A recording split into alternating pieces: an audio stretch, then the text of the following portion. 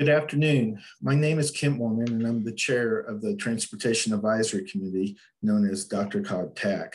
I call to order the October 25th, 2021 DRCOG TAC meeting. DRCOG uses the digital platform Zoom. Members and alternates, you have the ability to mute and unmute yourselves and share your webcam.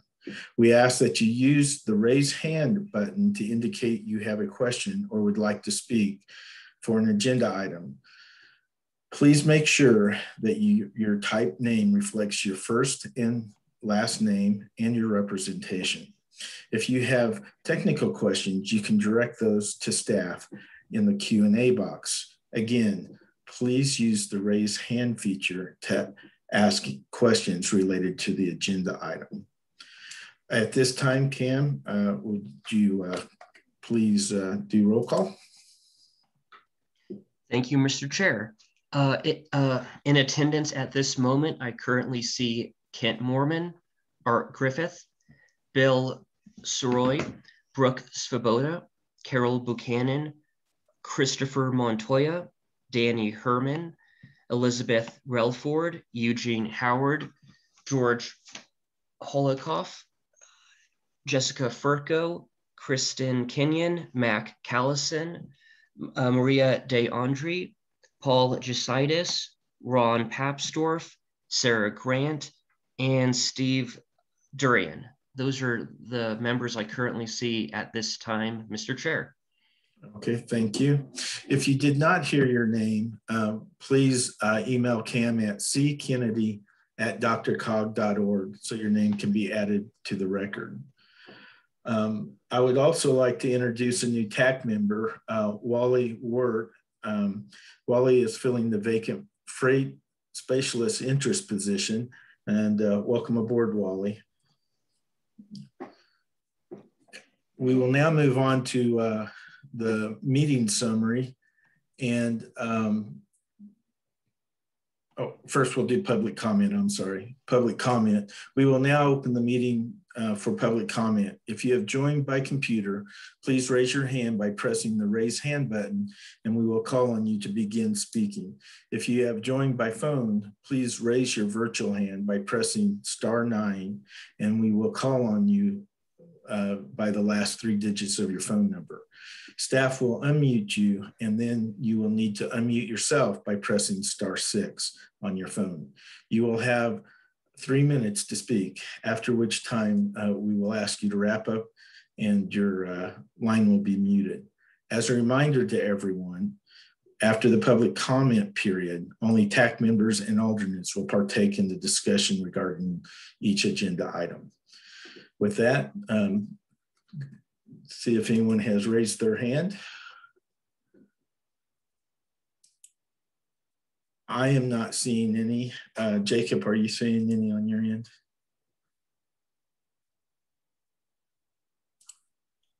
Uh, sorry, Mr. Chair, no, I'm not.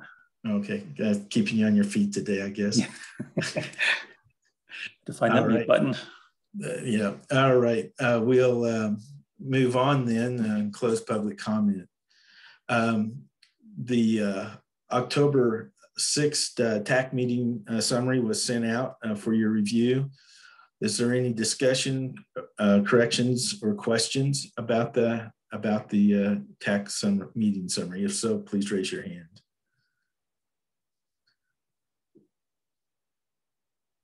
Seeing none, um, um, the minutes stand approved, and we'll move on to the next item. We have no action items today. Um, so we'll move right on into our informational briefings. It'll be on the 2024-2027 draft tip policy um, discussion and Todd will lead this. This is the actual uh, um, tip policy that was in your uh, draft tip policy that was in your packet. So um, Todd, I'll turn it over to you. Uh, thank you, Mr. Chair. So I have a somewhat brief presentation here um, for you this afternoon and uh, then I'll be simply be turning it over to you to ask questions that you may have regarding the draft document that is included within your packet. So I will go ahead and get started uh, so we can have a discussion later on. So just wanted to start with sort of uh, an overall uh, review of the document itself. Um, as a quick overview, there is it is tra- and track changes included within your packet. Um, the track changes excludes things such as wordsmithing, um, changing from the 2023 tip to the 24 27 tip. Um, we've also put in notations where there may be possible locations to add new text if there is a new transportation bill, which um, from everything I've been hearing may come at the end of this week. We'll see. Um, in addition to um, any greenhouse gas uh, integration that may, may need to be included within the, in the policy. Um, so we will hold all of that and if there is progress made in those areas, we certainly will include that in your next meeting. Um, if not in your next meeting, certainly included within the the draft document that we'll be asking you to take action on uh, in December. So go ahead and get started with some of the higher level uh, document edits. So contained within the first chapter, which is the introduction, um, the main element here really is that the tip schedule has not been updated at this time, and we will simply update that um, hopefully for your next meeting. Um, so if you recall at your last meeting, there was a discussion regarding the multimodal options fund and the two options um, staff presented to move forward on how to program not only the current tip, but also the 24 to 27 tip. So um, our board uh, will be having that discussion at their November 3rd board work session. So of course, we'll include information at that time or after that time, I should say. Uh, chapter two outlines the roles and requirements that are required to receive a project. Um, so the first uh, regarding the agency roles, uh, and this mainly has to do with the funding sources. And of course, that really relies on a if and when and if a new federal infrastructure bill does pass. So of course, that will be updated at a at a later time. Um, the next section within this chapter deals with the capital project elig eligibility and simply says that um, if you have a project in the current RTP in that 20 to 29 staging period, um, you would be eligible to submit any project phase, so um, pre-construction and construction. However, if that project is listed within the 30 to 39 staging period, you would be eligible for the project development portions of that project, i.e. anything except for construction. Uh, for those projects that contain a technology component, um, we have cleaned up and expanded that language related to the regional operations plan and systems engineering analysis. So again, just beefed up that language a little bit. Um, regarding the freight section, we've also added language related to the economy, um, reliability, and emissions. Chapter three deals with the initial programming steps that DRCOG takes before the calls for projects are issued. Um, so looking at that section, um, one of them was the funding assessment, uh, essentially just cleaned up this language regarding the funding sources um, for the set aside programs.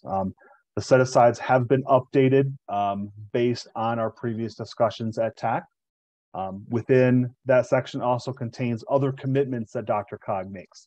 So within the previous tip, there was a central 70 and a fast track commitment. Um, those both have been removed.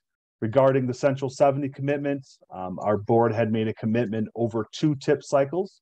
Um, the second tip cycle was that 20 to 23, so that commitment no longer um, is included within the policy. Um, regarding the FasTracks commitments, um, for those who have been around a while, our board made that commitment back in 2008.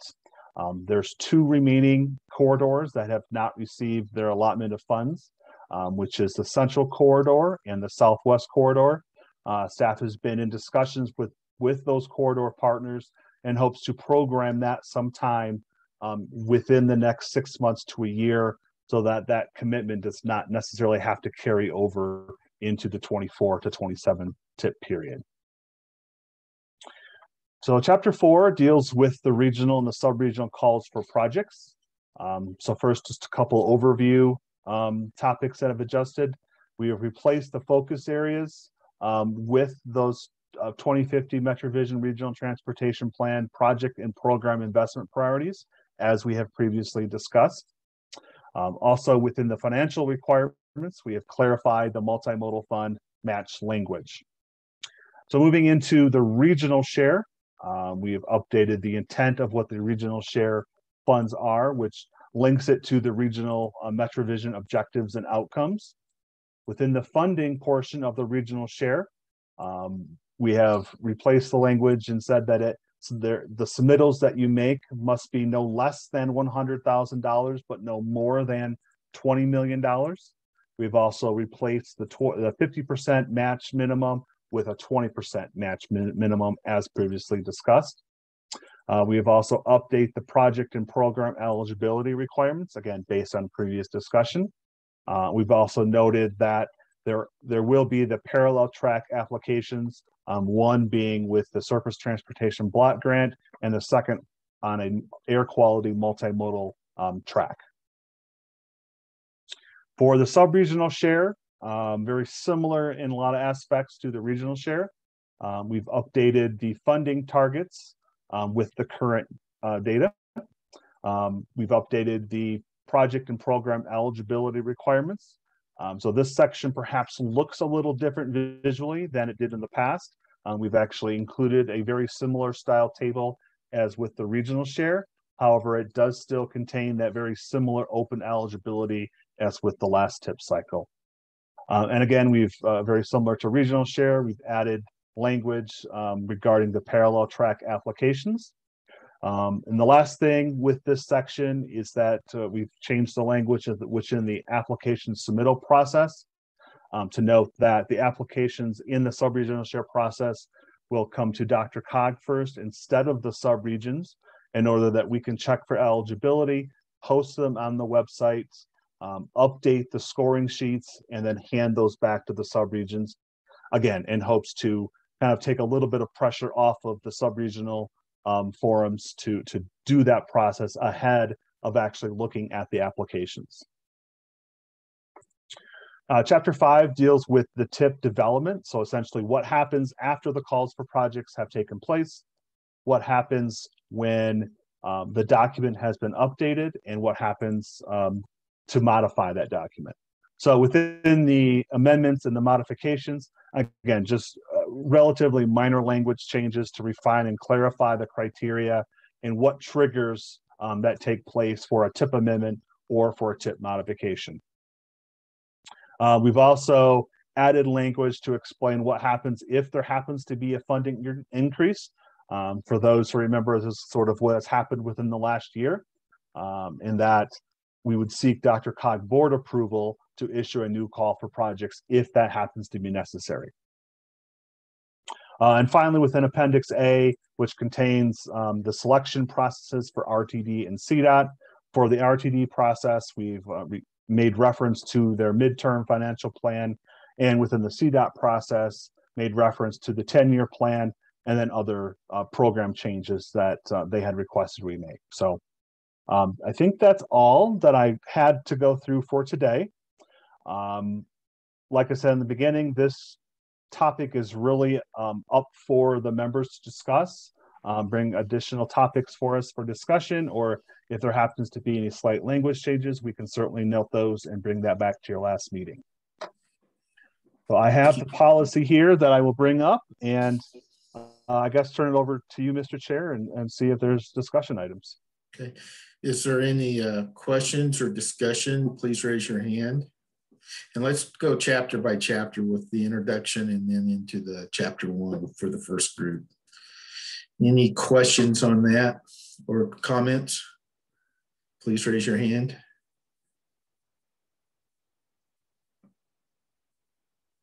I see none, so let's move on to, oh, Alex raised his hand. Go ahead, Alex.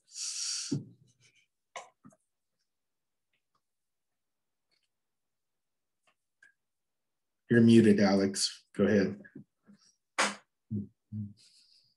Sorry, I um I have a question, but I was, I was struggling to figure out which chapter it was in before we moved on. Um, oh.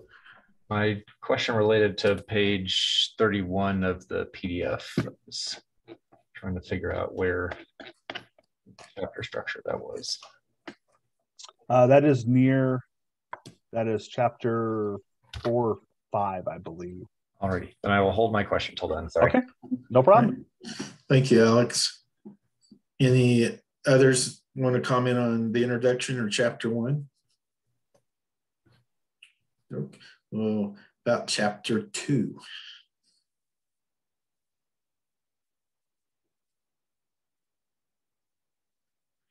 Phil, go ahead. I just had a question at the bottom of paper page five, I guess, or listed page five.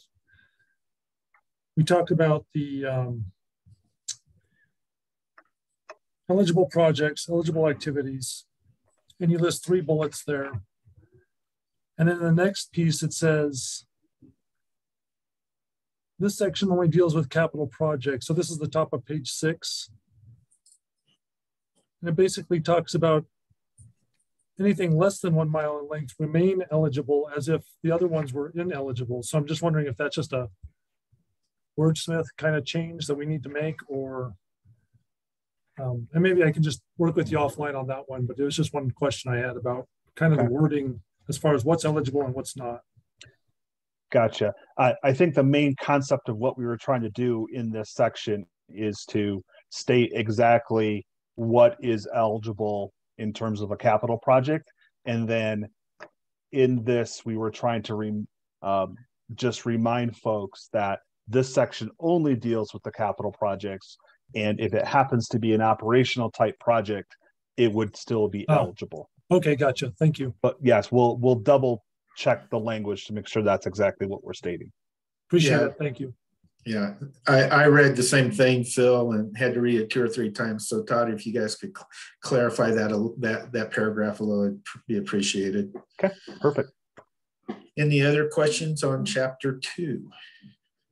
Please raise your hand.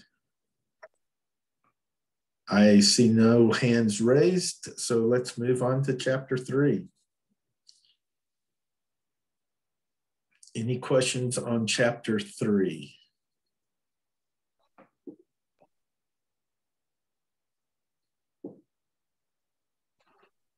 I see no hands raised, so let's move on to chapter four. And I know Alex had a question on that. So Alex, if you want to go ahead and ask your question. Thank you. Um, my first question, I think, was on page 31 of our packet. Um, it was, um, let's see, this pertains to the regional uh, eligibility for projects, and it was related to the studies. Um, so for studies, the study limits must include the entire MPO boundary at a minimum and specifically address one of the following categories listed above. Um, I guess I'm struggling with how a study would have to address the entire MPO boundary and kind of want to ask my question through the lens of um, a study that we submitted in the previous tip, um, which was waitlisted and subsequently re received funding, but the 287 BRT study. Um, so Boulder County is obviously studying bus rapid transit on the 287 corridor. And so if, you know, using that project as an example, would that project be ineligible as a regional study application since it is just looking at a specific corridor, not the entire MPO boundary? And I guess wondering, what what kinds of studies DRCOG is envisioning and if corridor specific studies are excluded from the regional round based on this criteria? Yeah, so within the regional share, um, as you see on the screen, um, study limits must include the entire MPO boundary at a minimum. Um, so that the concept here is since this is the regional share, um, uh, it would only make logical sense that any study would need to include the entire area, the entire regional boundary. So yes, based on what you had submitted last time along um, 287, that would not be eligible at this time as, as proposed. I, I guess I'm struggling a little bit with the logic of that because if you apply that regioning to say a regional BRT or another corridor capital improvement, you know, using the study analogy, you'd have to say, well, you have to build a corridor that will stretch across the entire region because no single corridor is worthy of being regional. Whereas obviously for capital and safety projects, those are going to be located on one specific corridor and they're not going to benefit the entire region. So I guess I, I don't quite follow the logic to the study category. Ron, did you have a comment on that or clarification? I don't know if it's a clarification, but I, I will say I, I the study language has always confused me Um, and Alex, I think I think your example fits more under the corridor transit planning, multimodal capital, or potentially regional BRT projects, where that that the kind of study you're describing to me would be a pre-construction activity, right? So you're doing a you're doing a corridor study or an evaluation of a, a modal a modal evaluation on a particular corridor that would lead to a future capital project. I think that studies, as, it, as the term is used in this table, and Todd, please correct me um, or, or add additional detail, but I think studies in this case really relates more to sort of regional programmatic studies. Um, something like, oh, an, an example of um, there's maybe an, an RTD region wide sort of um, analysis of a, a, region like the regional BRT study that they that they completed a couple of years ago. Uh, anything else you can add to that to help clarify? You're you're muted, Todd.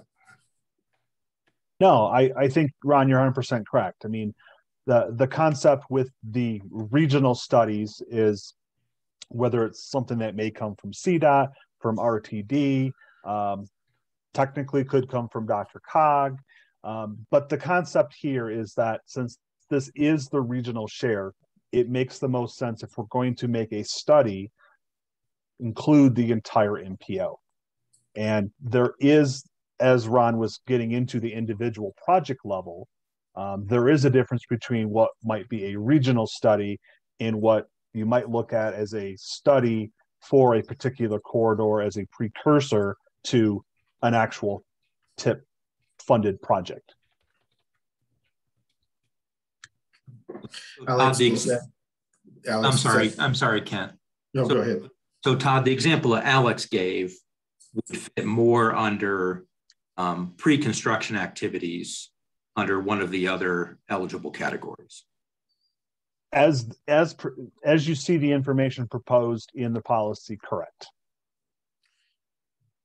does that help clarify for you alex uh, yeah i think it clarifies so i guess what my takeaway is that under the study category it's pretty likely that only DRCOG rtd or cdot would be applying for a study since a local jurisdiction would probably not conduct a region-wide study that would be by definition mostly outside of their jurisdiction. Yeah. But it would be done under the sub-regional area, right? Todd and Ron? I, I think that's right. Yeah. Um, I had another suggestion on this table is could you put that regional, put in the title regional uh, or region, regional um, um, eligibility project so that if these two table, this table yep. and, your sub-regional table, uh, just to make it um, very clear, this is region region wide only, not the sub-regions. Yes. Yep. Easy change. Okay. Then Brian, uh, Alex, did you have any other comments on before we move on? Uh, no more questions on this one, but I have a question on the next page, the PDF. Okay. On on chapter five um, or, or, chapter four yet? I think it's still on chapter four. Um, okay. My question was related to if whatever becomes of this federal infrastructure bill does indeed pass and we end up with significantly more money to allocate in the tip than we're currently kind of anticipating is is there an opportunity to look at increasing the number of regional projects that each sub-regional forum is allowed to submit because i think currently we each get three projects um, but wondering if the amount of money turns out to be a whole lot more than we thought. Are we going to revisit that um, cap of three?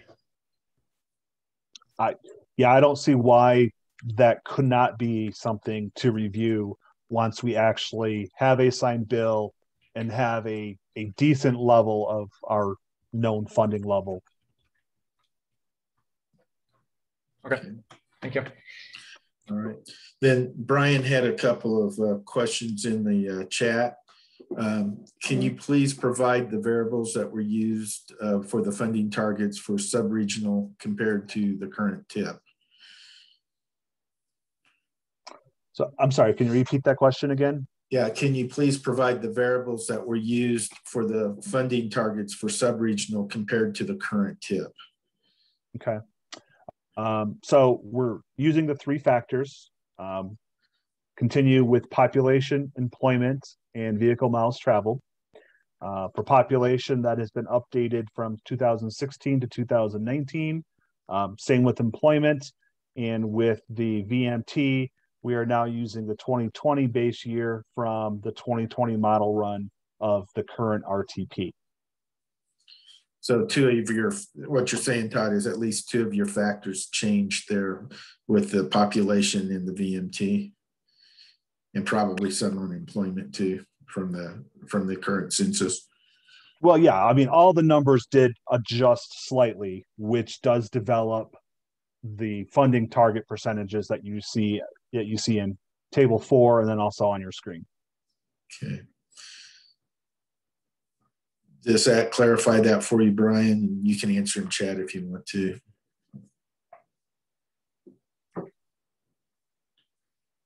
He says he'd like to see the data, so on, okay. on that, so on that piece of it.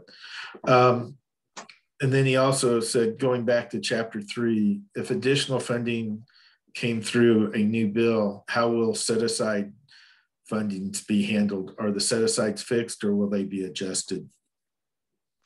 Traditionally, if new funding does come along in the middle of a cycle, um, the set asides are fixed and that additional money would not go towards the set aside, but would go towards the regional and sub regional process, i.e., the, the waiting list at that time. Ron, you had a comment on that? Yeah, just to, Todd's absolutely right. Just to add a little bit additional flavor, the set aside funding estimates that are currently, um, I guess, I guess, proposed by staff at this point is uh, are based on the passage of the federal infrastructure bill. I think the real question is if the federal infrastructure bill ends up not passing, we likely we will go back and reevaluate those recommended funding uh, set aside funding uh, levels for the set aside programs at that point. So it, I think, Brian, to answer your question, the kind of the passage of the federal infrastructure bill is kind of assumed in the recommended funding levels for the set aside programs. And if that bill doesn't pass, we'll go back and sort of reevaluate the appropriateness of um, these funding levels for the for the various set asides and have a have a different conversation then. Okay.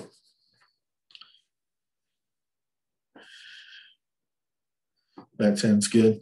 Um, Todd, did you want to bring up that data slide now, or do you want to provide that later to the TAC? Um, yeah, actually, I think I think Josh has that slide, and I will stop sharing.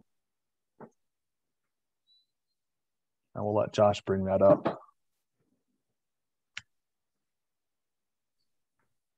Can you see that? Yes. Yes. Um, so this outlines the information that you previously saw on the screen that you see in the tip policy. Um, it uh, includes the updated um, population employment in VMT. Um, I believe there was an earlier question um, outside of this meeting um, looking at whether to include VMT or to not include VMT. Um, so that happens to be the information in the bottom three lines. But the information that's contained um, that matches what's in the policy is the information you see there in lines 11 and 12, which is average of factors with VMT. Any questions from the group on this um, this distribution before we move off of it? If so, raise your hand.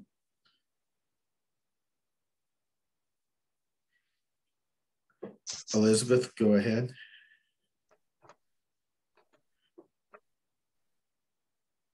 I, my question is related to the population calculation that was uh, calculated um, based on DOLA. I, I can't tell the percentage of unincorporated that was used. Was this just the municipalities populations that were added together? Or was there a percentage of unincorporated included? I might ask Josh to confirm just because he was looking at the data more than I was, but it should include the total population within the MPO area. That is correct. So um, both incorporated and unincorporated, but within the MPO section of the county. So you just in the model, you basically just drew the line and then um, in interpolated it? I can double check um, with our uh, um, with our team that put together the numbers to double check on the exact methodology, uh, but I believe that's correct.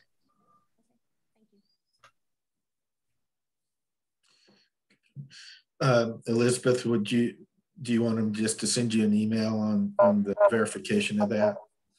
Yeah, that would be fine. Thanks. Okay. Todd, Josh, can you do that? Yep. Yep. Thank you. Um, uh, Brian also said thank you for the clarification earlier.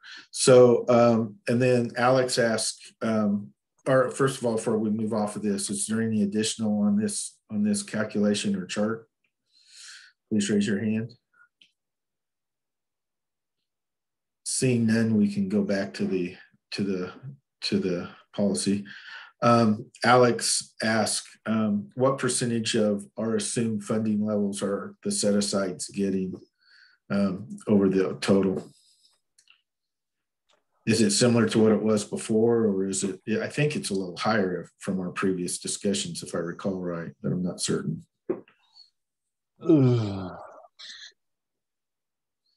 I don't recall off the top of my head. Ron, I don't know if you happen to remember. I don't. I, I don't know that I've that we've done a spe- that specific calculation. I was just trying to pull up some information from the different options around um, integrating the multiple options fund. We one we don't have a final estimate of how much total resources would be available, assuming the federal infrastructure bill passes. Um, we kind of we kind of targeted an increase in the set aside amounts um, about the same increase that we expect to see in total funds available. And, you know, again, keep in mind that if the federal infrastructure bill passes and with um, Senate Bill 260 at the state level passing with, you know, a significant new uh, infusion of funds from the multiple options fund program at the state level and the federal investments through the, the federal uh, infrastructure bill, um, it's a it's a pretty pretty significant increase in total um, available resources for the next four year tip versus the 20 to 23 tip cycle. But I, will I'll keep working on trying to figure out at least a, a, rough estimate on that. If you want to keep taking other questions, Ken. Okay, thank you. Any additional questions on um, the introduction through chapter four? Please raise your hand or make a comment in the chat. Seeing none, let's move on to chapter five. Oh, Art, go ahead. Me? Oh, okay. Um, hey, Todd, real briefly, could you just explain where the additional money for the set-asides is coming from? I had some interested parties that wanted to know. Um, right. So, I mean, I, I, don't have the table in front of me that has a, a side-by-side comparison to the, the existing tip, um, but I will rely on as much memory as I can here. Um, so TDM services uh, did happen to increase, and I want to say by roughly $2 million, um, sort of evenly split over the three programs you're seeing on the screen. Obviously, the higher percentage and dollar amount probably went to the way to go program. I believe their increase is approximately 800 to a million dollars. Um, the RTO and T program stayed the same.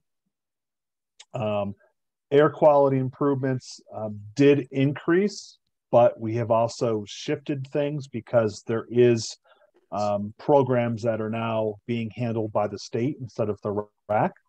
Uh, for human service transportation, that amount has doubled from 4 million to 8 million. Um, the new set aside community mobility planning and innovation. Um, again, we, we took the um, the community mobility planning um, from the previous set aside, which we called CMPI. Um, and we've added other elements, um, but doing a side by side comparison to the old CMPI to this now community mobility planning and innovation that has increased, but I don't know the dollar amount right off the top of my head. Just a follow up question. Um, is there a pretty good distribution of those set asides throughout the subregions? Um, I think we would have to go back and look at that. Just over the um, last tip, just the, the dual model tip. Um, well, re remember that the set aside programs are not part of the dual model process. The set asides are all handled by calls for projects, with the exception of the funding that goes to the RAC.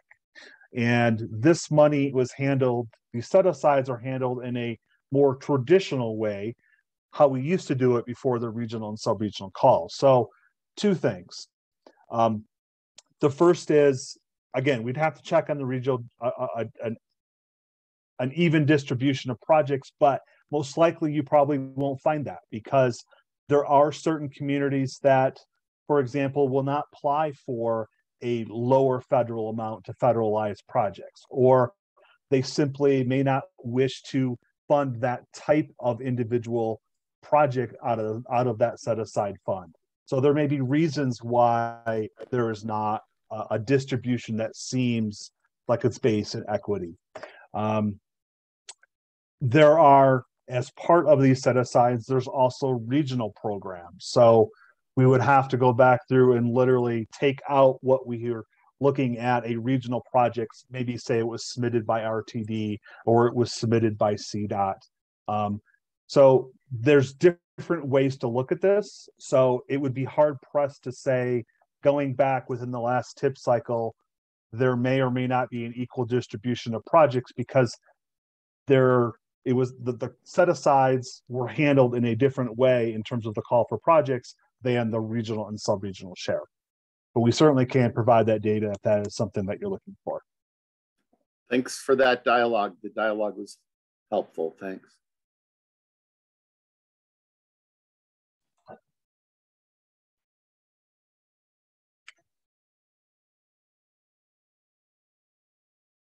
Mr. Chair, you're muted. Thank you. I'm muted. Art, did you need them to provide that information? I don't think so at this time. I think right. Todd gave me some good explanation of how complicated it is, you know, and trying to track that down. So I, I don't think so at this time. Thanks. Right. Thank you. Ron, go ahead. Yeah, I'll, I'll, I'll thank Mr. Griffith for the question because it gave me some time to do some, some math.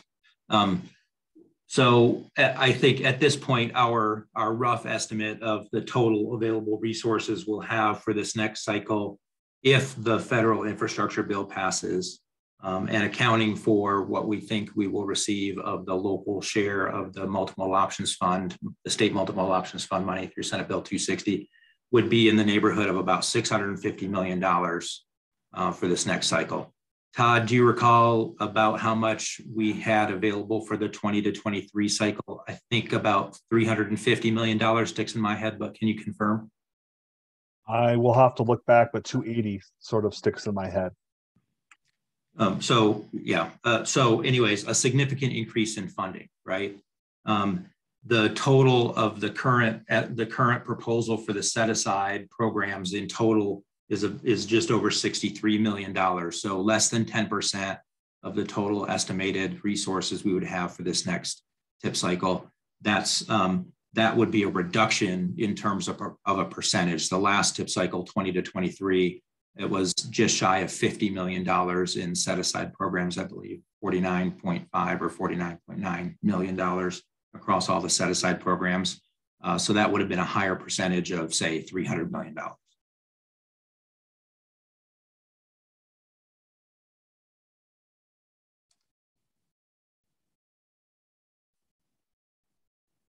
You're still muted, Kent. Thank you, Ron. Um, this the uh, central 70 was also included in the set asides, wasn't it, on automatic? Because it was taken off the top, right? Correct. No, the, what was it? A was it a set aside, Todd? I thought it was an off the top off the regional share. Correct. It, it was a it was an off the top of the regional share. Oh, okay, correct. Okay, that's right. All right, thank you for the clarification. All right. Any additional questions on uh, chapters, uh, chapter five or, or before? Please raise your hand.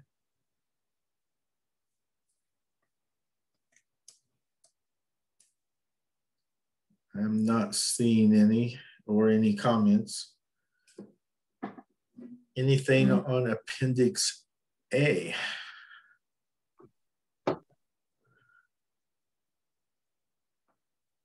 Again, I do not see any comments or there there of uh, hands raised. Any general other general comments about the the tip? You know, we have I guess Appendix B through D, and the regional share application has yet to be developed. Bill, go ahead, Sorry, getting my stuff unmuted. So we we have some changes to our process because of the recent adoption of our strategic plan for um, the our mid range or midterm financial plan process. So, Todd, what when do you need um, to get those changes? Because it's this is like brand new to us, so I, I need to kind of get with some people and how to make sure I've got the right information. Mm -hmm. uh, if you would like to make any edits to Appendix A or any place else where RTD is involved. Uh, if you could let us know by, let's say, December 1st. Okay. I think that would be appropriate. That'll give us enough time to make sure that we have the correct information into the draft document that TAC will see later that month. Okay. Thanks. Mm -hmm.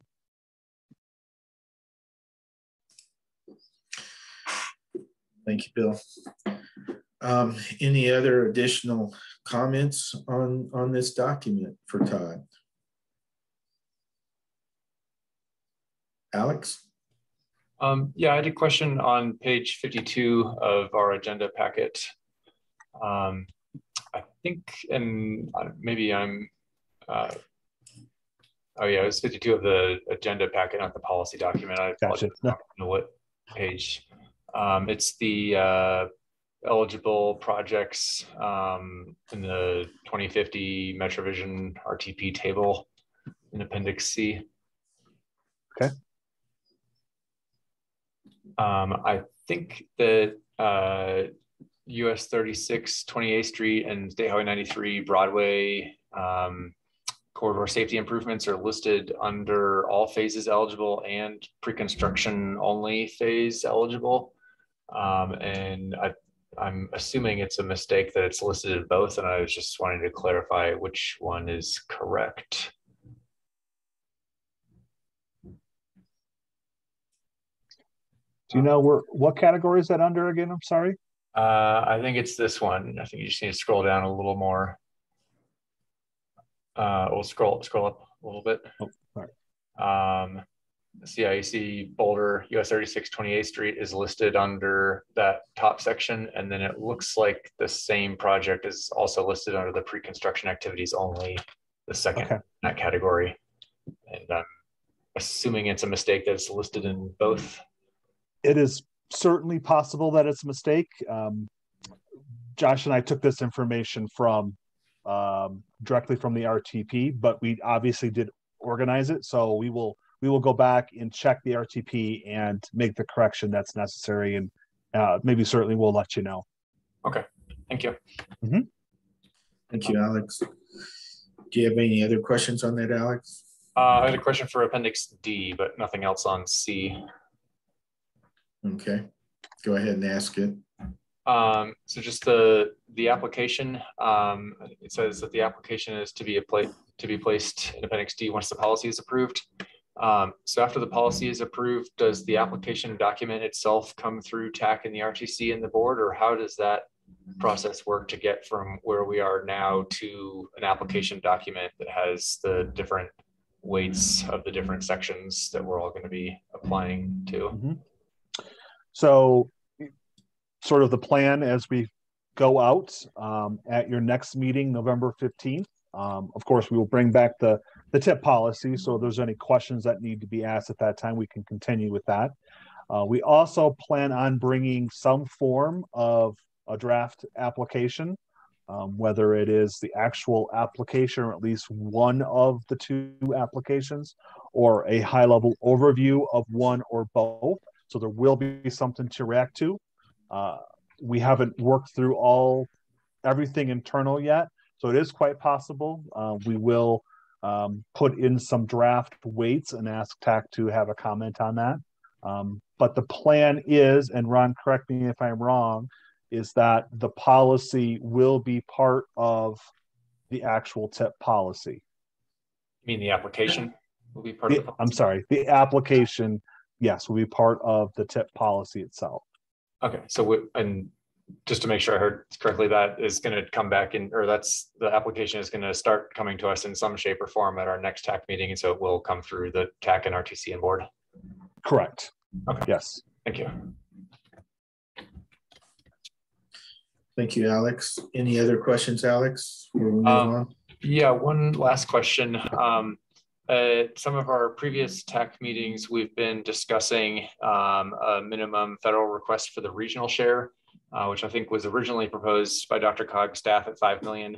And then we did some polling that seemed to suggest um, the TAC would be supportive of a two to $3 million minimum federal request. But I think what I saw in this tip policy was just the $100,000 minimum request and then the $20 million maximum federal request. Um, so I'm wondering what happened to that discussion on the different minimum federal requests for the regional share, or maybe I missed it in the document. Nope. Uh, I think sort of just based on some internal discussions that we had, and I'm, I'm trying to even find the section here, but I don't know if I see it. Um, it, it was decided to not include a minimum within um, a minimum within the regional share that's different than the sub-regional share. Todd, Todd, this is Ron. Sorry that that was that was also the, the result of feedback that we received from the board when we talked to that issue about the board after TAC. Okay, so the, the minimum for both will stand at 100,000 then? Correct.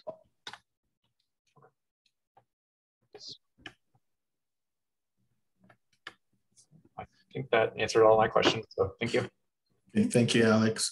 Um, Brian had a question. Um, is CDOT relooking at their 10-year plan and, and uh, what is the revision process um, if they're not done by the time we adopt the TIP? I, I, I added the last portion of that. nice, nice, nice hybrid question, Mr. Chair. I, I think that falls under chair's prerogative.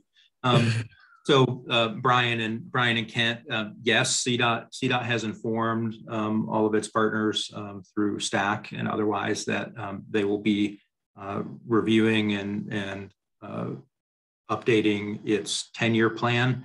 Uh, keep in remember that under Senate Bill 260, which passed the legislature this year, um, CDOT is required to review and update its 10-year plan by October 1st of next year.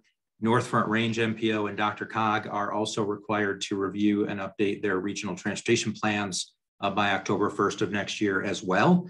Um, uh, and that's all in the context of the um, greenhouse gas rulemaking and the greenhouse gas uh, provisions in uh, Senate Bill 260.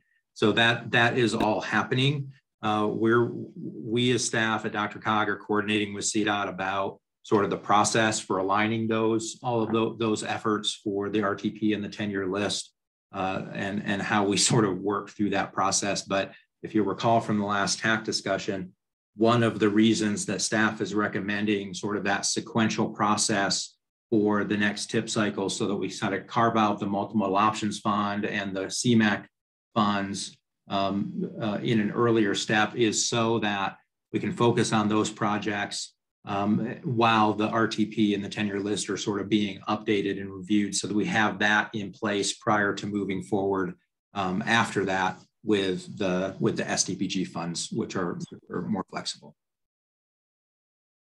Art, or, or before we go to Art, uh, Brian, did that answer your question or clarify? And I didn't know if anyone from CDOT would like to speak to Yeah. what their process is going to be. Um, no, I think I saw Danny on. I don't know if Danny'd like to speak to that. Hey, uh, Ken, this is Paul. Um, Okay, go ahead, I Paul. think, I think, I think Ron uh, gave as much information as we have right now. So we're working on that process and trying to figure out exactly what that will look like. So it'll take a little bit longer. Um, we've got to, you know, we'll be looking at the greenhouse gas rules and how that affects what that 10 year list looks like. Um, but at this point, we don't really have a process on exactly what that is going to look like. So probably next few months we'll have that. Okay, I see thank- Marissa too. Marissa, you want to add to that or I get it about I right? beat me to unmuting, but I think you got it, everything that I was going to mention, Paul. So thank you for for chiming in. Thank you guys for the your update on that. Art, you had a question? Oh, sorry, Or Ken, just to, just to, just to close on that conversation. Yes, please uh, do. to be assured that TAC will be engaged in, in that in that process. We'll be as as we work with CDOT to sort of nail down what that what that process looks like. We'll we'll you will definitely see it around around this. Well, almost said around this table, um, around these screens. Okay. As, as that as, as both of those processes move forward. All right. Thank you. Art, go ahead. Yeah, real quick, um, maybe a follow up um, for Paul or others at CDOT. Um, I know that uh, you know you got to develop that 10 year plan, but it seems like listening in at the STAC and other meetings, the big focus is always on the four year pipeline as opposed to the 10 year pipeline.